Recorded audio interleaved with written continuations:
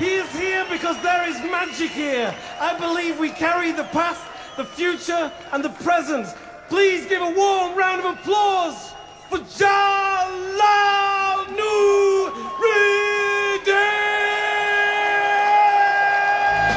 The grandfather of rap. Genocide hung over the heads of the African American people like the sword of Damocles.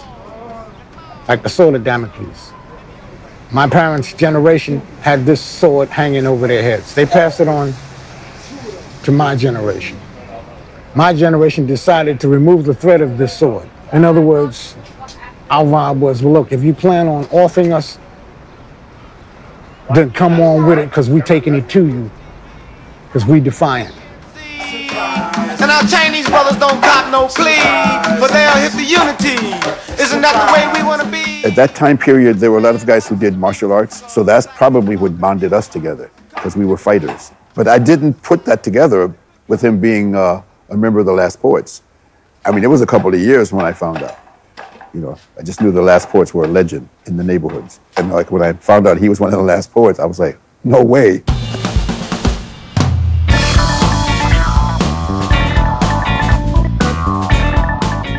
So a lot of his music, that's what I perceive it to have been, you know, fighting back through music, through poetry.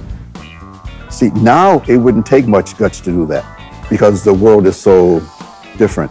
Then for someone to, for black people to take a stand against the system really was rough in those days.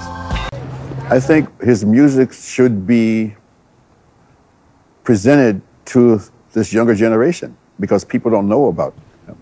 I mention him to people that never heard of him. I think he was robbed of his place, uh, um, should I say music history, whatever, but I think so.